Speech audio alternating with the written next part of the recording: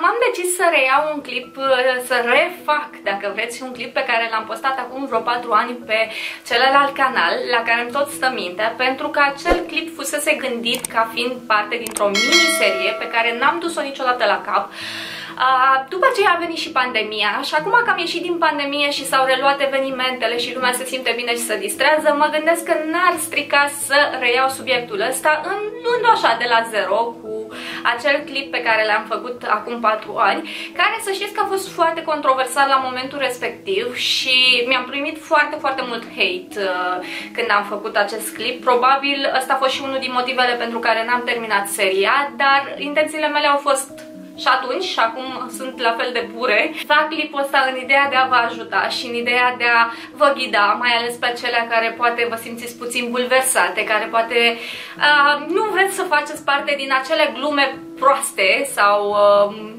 mai puțin reușite care se fac în general după un eveniment de așa în natură. Și mă refer aici la nuntă.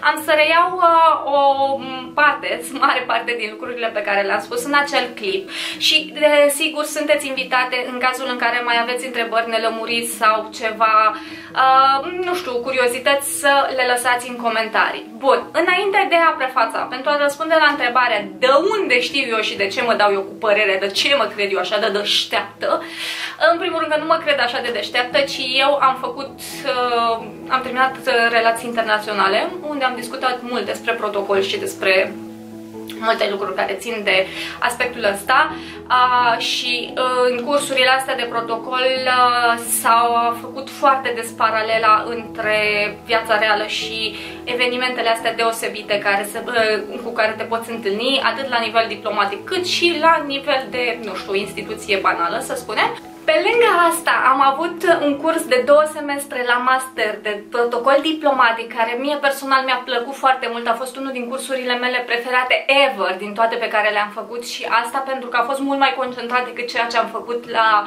facultate, unde am învățat foarte multe lucruri, adică profesoara noastră și-a dat interesul să ne învețe de la uh, uh, bune maniere din astea simple de zi cu zi pe care să le uh, aplicăm noi, care n-au nicio treabă cu protocolul diplomatic, până la lucruri care țin de protocolul diplomatic, de protocolul între instituții, dar în egală măsură a atins și subiectul ăsta cu nunțile și asta pentru că, așa cum vă ziceam și în celălalt clip, nunta este un eveniment formal. Este poate unul dintre cele mai formale evenimente la care participă un om în viața lui, că nu toată lumea are șansa să participe la un white tie, spre exemplu, uh, și prin urmare ea se lega foarte tare de nuntă, ca exemplu, să ne dea exemplu uh, nunta, pentru că era un exemplu cu care noi puteam relaționa. În egală măsură, femeia era foarte knowledgeable, ca să zic așa, avea foarte multe cunoștințe pe subiectul ăsta, pentru că avea și o firmă de organizare de evenimente.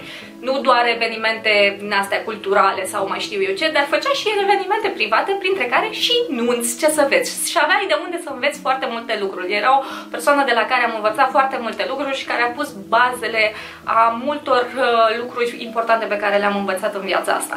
Și cum știu că la mine pe canal sunt foarte multe fete dornice de a se eleva, de a uh, deveni mai elegante și de a evolua, uh, cred că este un punct care se leagă foarte bine de tema noastră preferată de aici, de pe canal, și anume de eleganță, pentru că este strânsă legătură. Felul în care te prezinți ca invitat la uh, o nuntă este iarăși un semn și un mesaj pe care îl dai despre tine, da?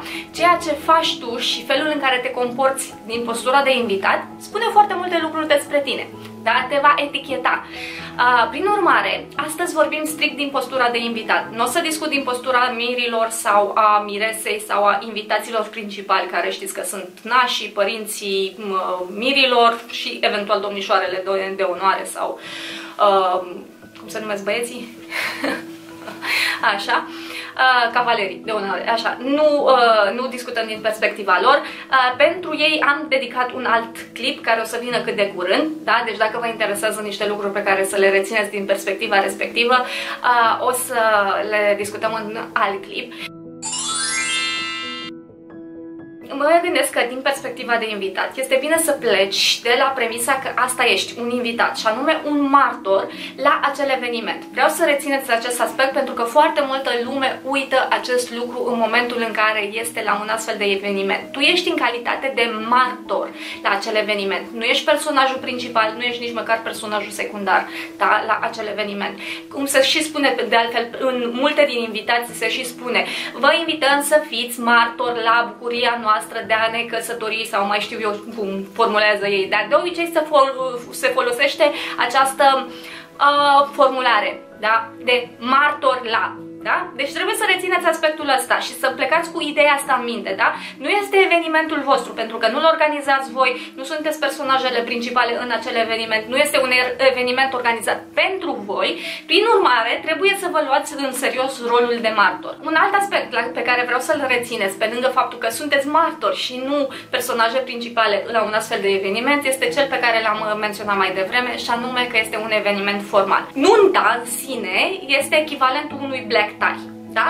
Și cam așa ar trebui privit, exceptând situația în care este la cort, la țară și iarăși, mare atenție că a fost o confuzie când am zis de cort în clipul trecut, uh, când vorbesc de nuntă la cort, mă refer la nunta aia de țară tradițională cu lăutarii care stau și cântă și te bărbieresc cu toporul și îți rup pâinea în cap și mai știu eu ce și vine țațaleana și își pune poalele în cap.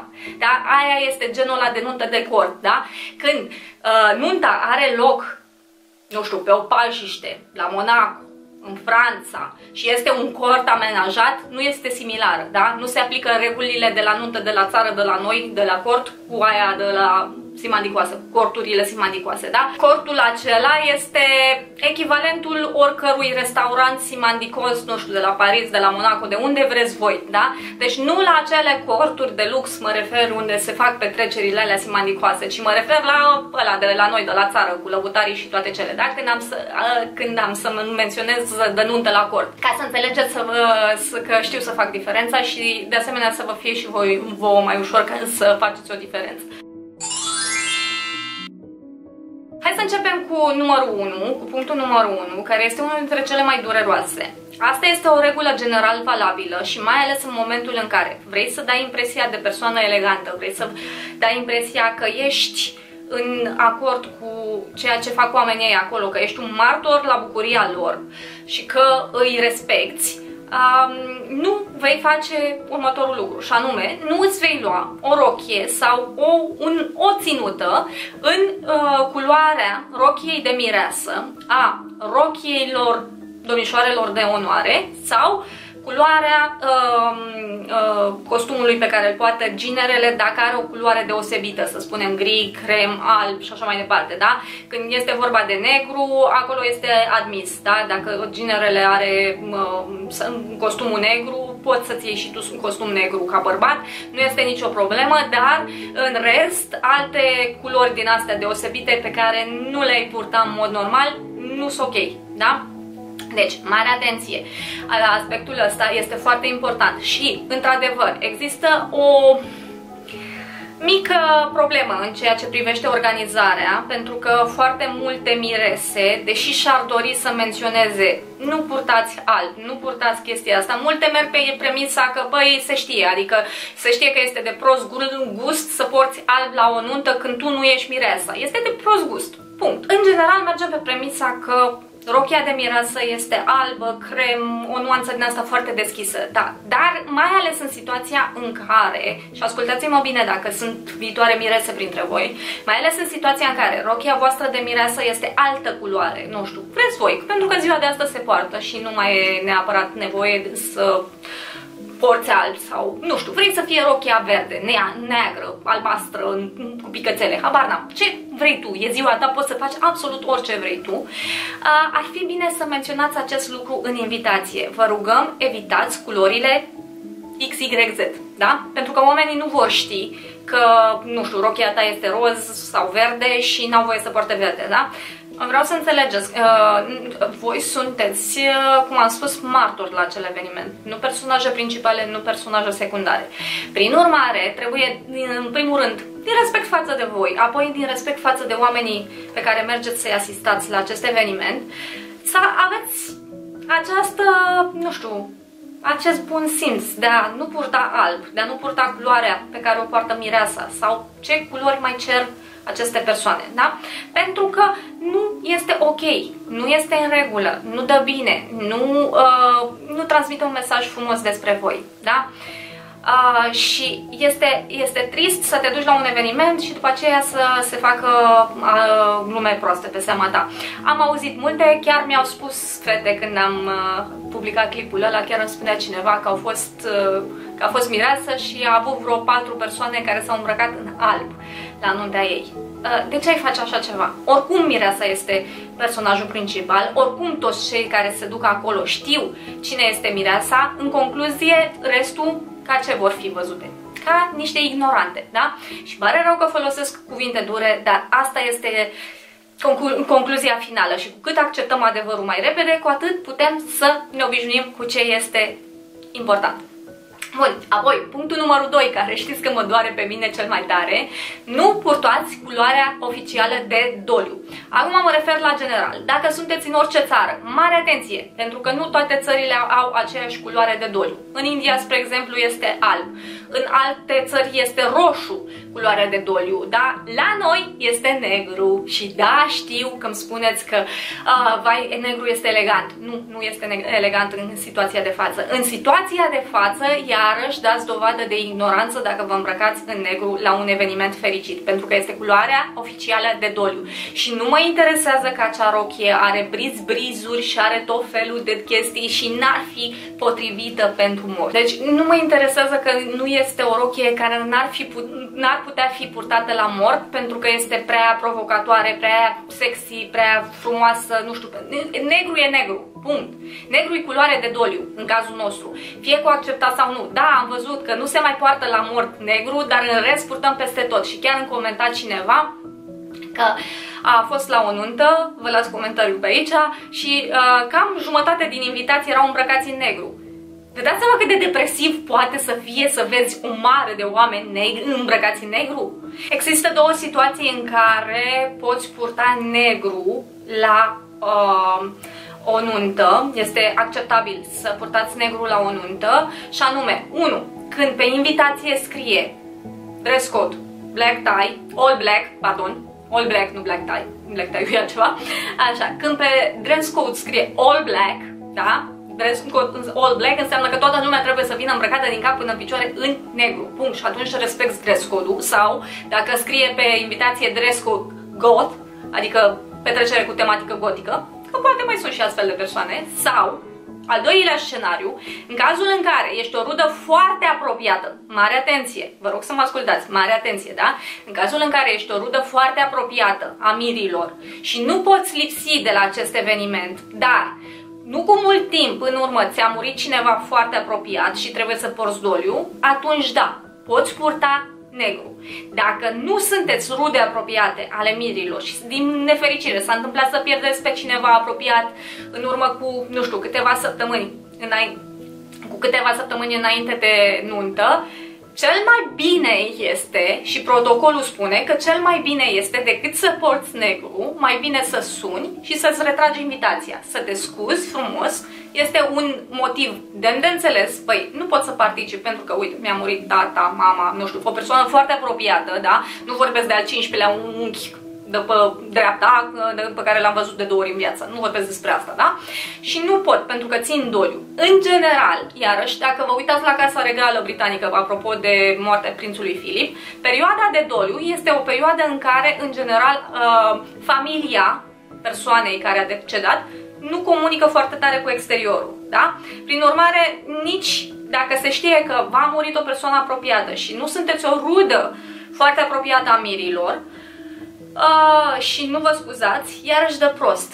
Da? Este o regulă iarăși de bune practici, o să o discutăm în uh, partea cealaltă, în cel de-al doilea prin clip. Am un uh, clip pregătit cu reguli de bune practici, așa, pentru uh, mir, pentru mireasă și așa mai departe.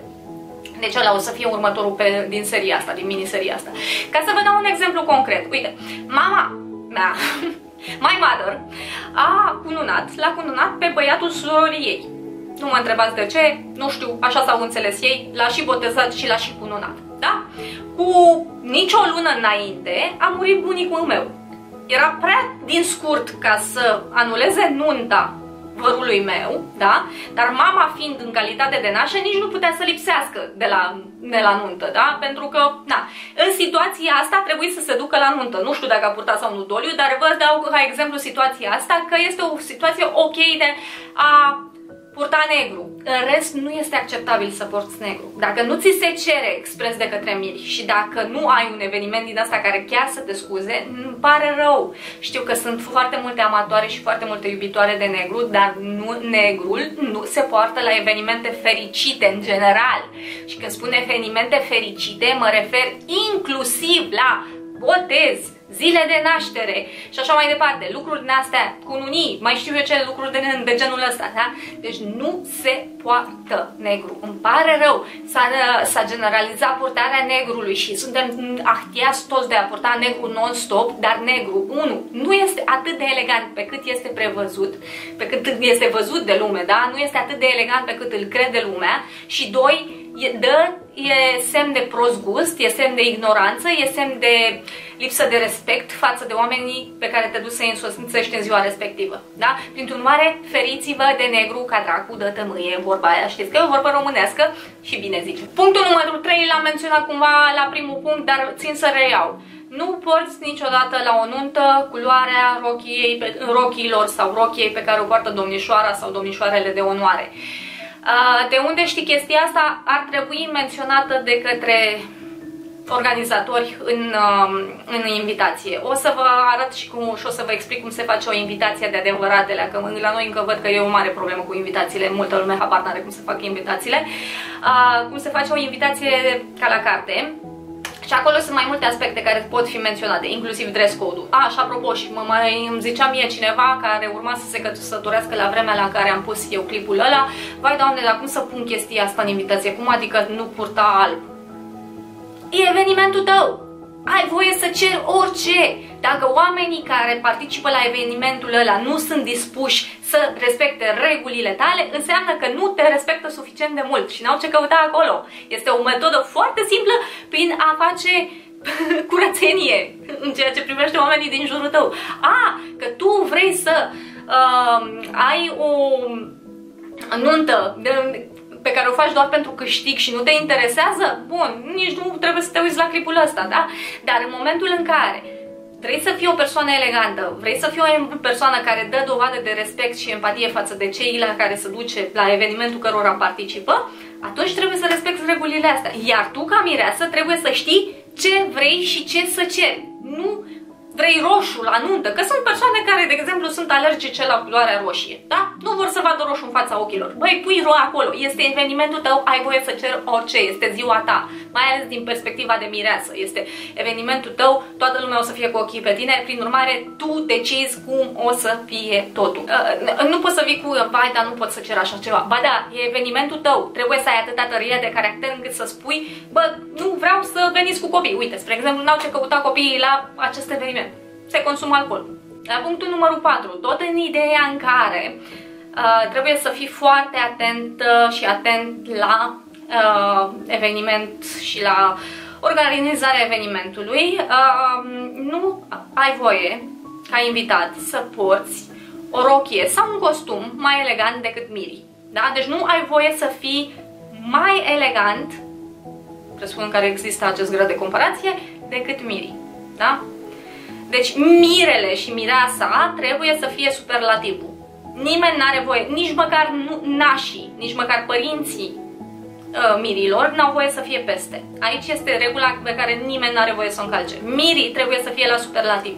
Dacă mirii decid că ei vor o petrecere câmpenească, outfitul tău trebuie să fie în concordanță. Nu vei purta sandale, dar vei avea niște pantofi mai relaxați, da? Nu vei veni în smoking, ca bărbat, la o petrecere câmpănească, ci te vei adapta, vei avea o ținută mai lejeră, da, pentru petrecerea câmpănească, poate puțin mai elegantă, deci țineți cont că genul ăsta de evenimente, de nunți, chiar dacă sunt ele într-un cadru mai informal, cum ar fi petreceri câmpenești, nu știu, petreceri pe plajă, petreceri în pădure și așa mai departe, nunți în pădure și așa mai departe, știți că na, unii unii oameni mai au și fantezii din astea, este, trebuie reținut că un grad de formalitate se păstrează, chiar dacă acel cadru nu este tocmai cel mai formal dintre toate. Da? Nu este un restaurant, un cordină la luxos, cum vorbeam, nu este un, o, o, o locație din asta luxoasă. Dar cu toate astea, există un grad de formalitate, mai mic într-adevăr decât atunci când este organizat într-un loc formal, dar trebuie să respecti gradul ăsta de formalitate. Da? Nu poți să te duci nici peste miri, nici să fii pulbere, bază. Da? Prin urmare, nu ai voie, mai ales în cazul femeilor, nu ai voie să porți o rochie mai elegantă decât a miresei. Și am dat eu exemplu uh, ăsta cu petrecerea câmpenească, să spunem că mireasa are așa un stil mai boho și poartă o, o rochie din aia boho, tu n-ai ce căuta cu o rochie de bal la astfel de petrecere. În primul rând că vei arăta ridicol. O să ieși în evidență, dar ești prost în evidență, da? O să arate prost. O să fie toată lumea îmbrăcat boho, o să fie așa mai de petrecere câmpenească, toată lumea îmbrăcată și tu o să fie rochie de bal. De prost, da? În momentul în care ești overdressed în asemenea situații, uh, este semn de ignoranță și de complet azuri. Nu ai ce să cauți cu o rochie mai de bal, o rochie de ocazie foarte elegantă, pentru că nu este locul ei, da? Trebuie să te adaptezi la dress code-ul necesar. De-aia este foarte important, dragiile mele și dragii mei, uh, pentru cei care organizează evenimente și dacă aveți un organizator de evenimente bun, el o să știe, dacă nu, Dumnezeu cu mila, trebuie să aveți un dress code și trebuie specificat pe invitație. Dacă aveți un, un organizator de evenimente bun o să știe treaba asta și o să vă spună treaba asta din start, dacă nu, puteți să-l schimbați. Iarăși, apropo de partea asta informală, ca să spun așa, pe care o adoptă unii, bărbații niciodată nu vor purta uh, șlapi sau sandale și nici femeile nu vor purta șlapi la nuntă. Șlapii sunt interziși la orice tip de eveniment, punct. Dacă nu te duci strict la, pe marginea piscinei sau pe plajă cu ei, în rest, șlapii sunt interziși la orice eveniment. End of story.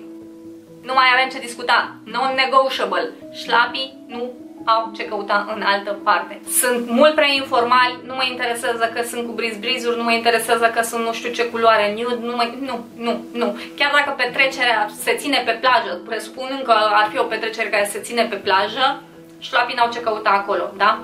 Apropo de petreceri ținute pe plajă, este singurul loc unde aveți voie cu sandale cu talpă ortopedică.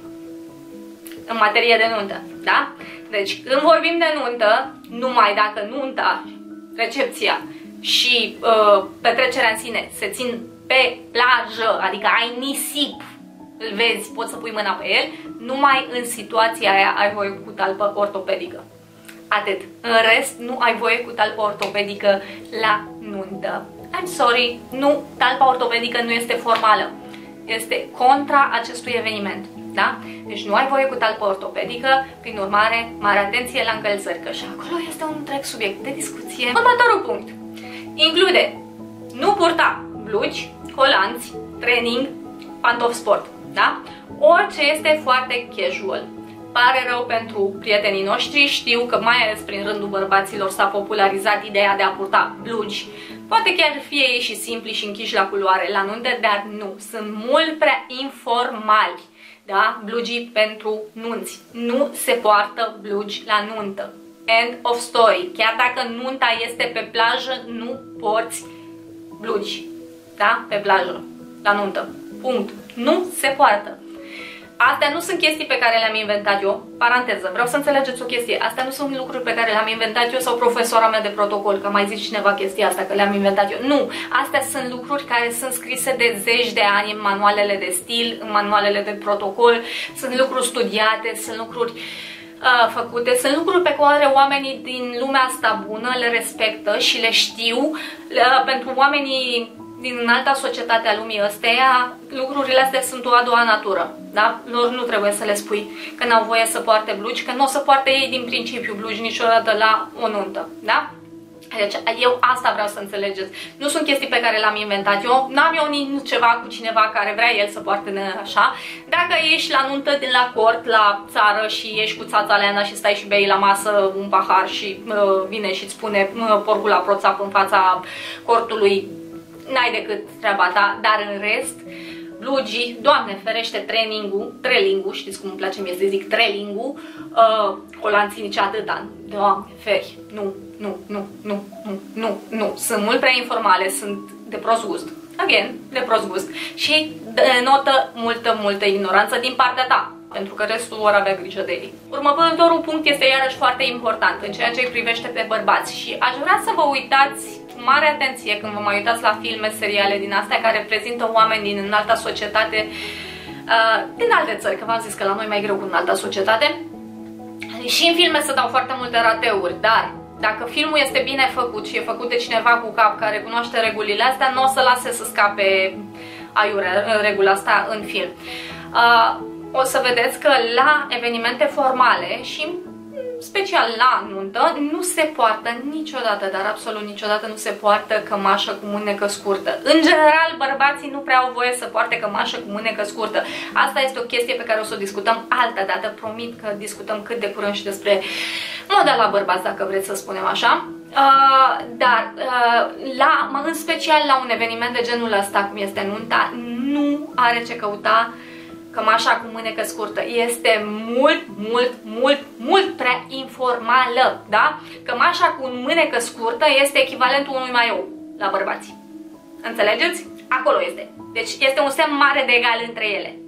Nu poți avea aceeași, uh, nu poți avea cămașă cu mânecă scurtă. Este admis, în calitate de bărbat, este admis să-ți sufleci mânecile, să-ți ridici mânecile la până la cot, până aici. Da? Este admis pentru bărbați chestia asta. Dacă ți-e cald, cum e vara, e cald, nu știu ce, este admis. Dacă este o petrecere pe plajă, revin la ce, în exemplu de mai devreme. Dacă este o petrecere pe plajă, este admis să n-ai sacou și să-ți suflegi mânecile, dar în rest nu ai ce căuta cu mânecă scurtă. Știu, șocant, dureros, mai ales pentru cocalarii de București din ziua de astăzi este dureros și șocant, dar asta este viața. În lumea bună nu se poartă cămăși cu mânecă scurtă, mai ales la evenimente formale. I'm sorry. Un, un alt punct care le privește iarăși foarte tare pe doamne este că nu e bine să purtați culori neon. Uh, motivul este foarte simplu, atrage foarte tare atenția în poze, distorsionează culoarea pielii în poze, în filmări și așa mai departe și s-ar putea să ai surpriza să arăți rău din cauza culorilor neon. Pe lângă asta, concurează cu albul de la rochia miresei, presupun că mireasa are rochie de culoare albă, da? Uh, și uh, dă prost. Este mult prea țipătoare, iarăși transmite mesajul de uitați-vă la mine, nu la mireasă, eu sunt personajul principal, nu mireasă și toată lumea o să știe că nu este așa și că tu ești o disperată după atenție și iarăși dăm de prost gust, ignoranță, da? Deci nu vrem așa ceva. Prin urmare, feriți-vă de culorile neon. Singura situație în care, iarăși, avem voie să purtăm culori neon, culori din astea foarte țipătoare la un eveniment de genul ăsta este dacă mirii să spunem că vor o petrecere cu tematică. Să spunem că ei vor o petrecere cu tematică anii 80, da? Sunt persoane care nu vor un eveniment excesiv de formal în ceea ce îi privește nunta lor, da? Vor să fie ceva mai relaxat sau vor să o petrecere cu tematică, dar plăcea lor o petrecere cu tematică. Personal nu sunt de acord cu chestia asta, adică pe mine una personal nu mă încălzește petrecerea cu tematică la o nuntă, dar dacă mirii așa vor ei, treaba lor. Deci sunt liber să facă chestia asta, știți? Sunt liber să își facă petrecerea de nuntă cu tematică. Dacă ei scriu acolo 80s style la dress code, go ahead, puteți să mergeți cu neon. Înseamnă că e voie cu neon. În rest nu e voie cu neon. Nu este voie. Plus că neonul dă prost, rău, arată rău în poze. Și mare atenție că fotografii, videografii și oamenii care sunt angajați să capteze evenimentul, ei nu se vor concentra pe invitat să arate bine în poze și în uh, toate celelalte. Nu știu dacă știți chestia asta, dacă v-a trecut vreodată prin cap chestia asta din postură de invitat.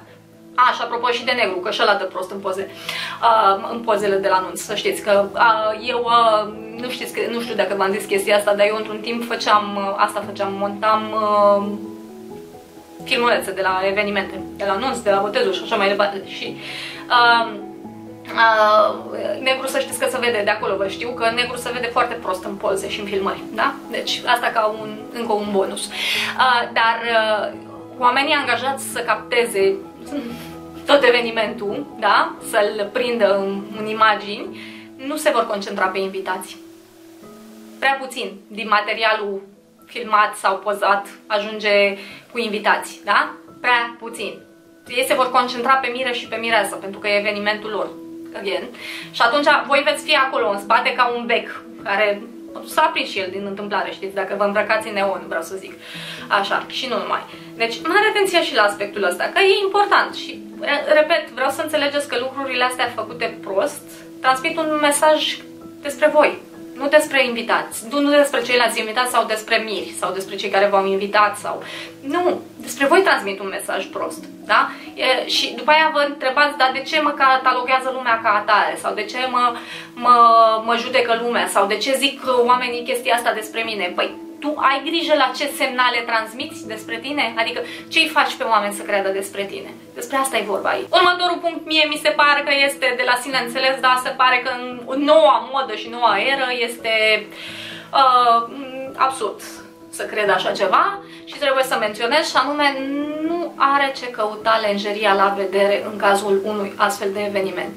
Și nu mă interesează că să vede linia chilotului prin uh, rochia ta mult prea mulată, e de prost gust. E în general de prost gust, dar mai ales la un eveniment de astfel de, de, astfel de eveniment, da? Este de foarte mare prost gust. Și nu mă interesează să ți se vadă danteluța, să ți se vadă cordeluța, să ți se vadă nu știu ce. Nu are ce căuta lejeria la vedere. Nu mă interesează că ești îmbrăcată ca Kylie Jenner la Met Gala de anul trecut, nu de anul ăsta, de anul trecut, nu Kylie Jenner, Kendall Jenner când era mai mult dezbrăcată decât îmbrăcată. Apropo de asta, am văzut o țoapă de la noi de pe Instagram că s-a dus la o nuntă într-un outfit similar cu ăla al lui uh, Kylie. Era mai mult dezbrăcată decât îmbrăcată. Iarăși, denotă prost gust, da? Degeaba ai tu bani de Gucci, de Armani, de mm, Chanel și așa mai departe dacă cultura nu te ajută, da? Că tot prost gust emani chiar dacă ai și branduri pe tine. Asta vreau să vă să înțelegeți, că degeaba scrie logo pe tine mare, Chanel sau mai știu eu ce. Dacă cultura ta nu te ajută, nu te educi în sensul ăsta, poți să ai toate logo-urile din lume. Degeaba. Tot prost gust și ignoranță e mare. Iarăși mare atenție fetelor la machiaj pentru că machiajul este foarte important. Multe fete au ocazia să experimenteze cu machiajul. Nu e locul în care să experimentați cu machiajul, nu e locul în care să ieșiți în evidență, nu e locul în care să faceți un machiaj turbat, să fiți voi cele mai cele mai. Lăsați-o mai moale cu machiajul, că în general este ziua miresei și da, știu că la noi make-up artiștii mireselor în general le fac niște machiaje din alea foarte puternice, chiar am văzut că se făcea mișto într-un articol de ziar pe chestia asta, că era uh, mireasa înainte de a fi machiată și după ce a fost machiată și zicea oare o mai recunoaște mirele pentru că era cu totul altă persoană, adică era deja total transformată. Dar uh, asta, asta este un subiect pe care îl atingem în celălalt clip, în următorul. Uh, dar în general nu încercați nici pe partea de machiaj să concurați cu, mireasa, cu mireasa, că iară o dați în bară și o să dați în bară rău de tot, da? Punctul următor, care a șocat pe multă lume, dar să știți că s-a întâmplat, chiar mi-a scris cineva, Uh, că s-a întâmplat, s-a întâmplat chestia asta la nuntă și anume că a venit o altă persoană în rochia ei de mireasă și nu era o, orice tip de rochie, ci era clar, vădiți, se vedea clar că era o rochie de mireasă, da? În momentul în care îți porți rochia ta de mireasă la nunta altei persoane, nu numai că dai dovadă de ignoranță și prost gust, dar uh, ești clar, pleci clar din perspectiva de dușman al acelei persoane, adică ai o problemă cu mireasa, adică ție ți-e ciudă că s-a moritat cu, cu fostul tău iubit sau mai știu eu ce, adică ai o mare problemă uh, cu cuplul respectiv. Prin urmare, mai bine n-ai ce, ce să cauți acolo. Mai bine nu te duci decât să faci chestii de genul ăsta. Uh, o să râdeți, dar se întâmplă. Sunt persoane care își poartă rochile de mireasă la alte nunți uh, și e de mare prost gust. Chiar dacă acea rochie de mireasă este o rochie simplă de la Zara albă. Da? Again, în primul rând că nu porți alb la o altă nuntă. În al doilea rând, uh, se vede, chiar dacă rochia ta de mireasă a fost modificată, da? Să spunem că ai, ai făcut ajustări, da? Nu mai arată neapărat ca o rochie de mireasă. Nu o purta, mai ales în situația în care veți avea invitați comuni, invitați care au fost și la nunta ta și sunt și la această nuntă, vor ști și își vor da seama cât de penibilă poți fi, porți pe o propria rochie la nunta altei persoane. N-ai de ce să faci așa ceva. Ha, și ultimul punct, la fel de dureros pentru foarte multe dintre voi, va fi acela că nu ai voie să te descalți, nu ai voie să schimbi încălțările la nuntă. Ai plecat pe tocuri, pe tocuri mori. Pare rău. Cum zice un clasic în viață, să știți. Uh, nu vă place ideea asta, dar uh, e de prost gust să te descalți. Da? Și mai ales în condițiile în care poate la evenimentul ăla sunt și persoane mai importante, da? Nu zic de, de la safta de la țară, da? Sunt și persoane importante acolo și dă de, e de prost gust să te uiți la filmări, la poze de la nuntă și să vezi persoanele descălțate. Este de prost gust. Eu, personal, dacă ar fi nunta mea, eu le-aș da la afară în secunda 2. Oricât de bune prietene mi-ar fi. Dacă nu ești capabilă să mergi pe tocuri, nu te duce pe tocuri. Da, tocurile sunt mai formale, sunt mai uh, deosebite. Dar dacă tu nu ai capacitatea de a merge pe tocuri, de a dansa pe tocuri, de a sta pe tocuri 12 ore, nu te duci pe tocuri. Pare rău. Și dacă vreți un pont în sensul ăsta, nu vă duceți niciodată la niciun eveniment, oricât de simandicos ar fi el sau nesimandicos, nu vă duceți cu tocuri noi, da? Pantofi noi. Întotdeauna aveți grijă ca acele perechi de încălțări să fie purtate măcar o săptămână sau două înainte, da? Le purtați ca să știți unde vă bat, dacă vă strâng, dacă vă dor picioarele, după cât timp vă dor picioarele și așa mai departe. Exersați să dansați în acele încălțări. Nu mergeți cu pantofi noi, da? Pentru că ăia cu siguranță vă vor face bătături, cu siguranță vă vor dura picioarele dacă sunt noi. Este uh, greșeala numărul 1 pe care o fac majoritatea femeilor când vine vorba de uh, încălțăminte în ceea ce privește nunțile și de aia le vedem că sunt descălțate, desculțe pe jos. Și nu mă interesează că mireasa este cea mai bună prietena ta. Da? Este vorba de un semn de respect pe care trebuie să îl dai și iarăși de mesajul pe care îl transmiți despre tine. Bun, m-am lungit foarte tare cu clipul ăsta și cred că o să aibă 150.000 de ani. Prin urmare, nu o să mai trec prin comentariile, că așa aveam de gând să trec prin comentariile pe care le-am primit la celălalt clip, care sunt demne de discutat și promit că în ghidul următor, în ghidul ăla pe de bune practici, o să discutăm și comentariile și poate atunci nici nu ne mai face lumina a figuri și o să fie totul zen și frumos și roz și foarte plăcut. Eu sper din tot sufletul să o luați uh, așa, în liniște, să luați în liniște aceste uh, ponturi, că nu le-am dat din uh, revoință. Știu că eu sunt mai acidă de felul meu, că așa e felul meu, așa sunt eu, mai zăpăcită și știți că am eu momentele mele că sunt mai acidă. Dar nu le dau cu răutate, eu încerc întotdeauna să le dau pentru oameni ca să-i ajut, să-i uh, ajut să învețe, să-i ajut să evolueze, să-i ajut să, să fie uh, o versiune mai bună decât au fost înainte, da? Și poate cu toții am făcut greșelile astea la un moment dat și poate cu toții le-am repetat și poate cu toții uh, n-am știut exact cum să ne îmbrăcăm sau cum să ne comportăm în anumite situații, dar important este să fim o versiune mai bună decât am fost ieri. Uh, și încă o dată, repet ce am zis pe la jumătatea clipului, astea nu sunt lucruri pe care le-am inventat eu, nu sunt lucruri pe care eu le dictez ca fiind reguli, sunt lucruri pe care uh, le găsiți în manualele de stil, în manualele de protocol, uh, în manualele de bune maniere și așa mai departe, da? Prin urmare, Uh, ar fi bine să vă aplicați un pic atenția și asupra acestor lucruri dacă vreți să transmiteți un mesaj frumos despre voi, pentru că, așa cum am zis pe parcursul întregului clip, este vorba foarte tare și despre mesajul pe care îl transmiteți despre voi în aceste situații. Bun, mulțumesc dacă v-ați uitat, mi-ar plăcea să dați un like și un share la clipul ăsta dacă v-a ajutat și dacă vi s-a părut interesant. Nu uitați să vă abonați dacă încă nu ați făcut-o și vă aștept și pe Instagram. Vă pup și ne vedem în următorul clip. Tchau!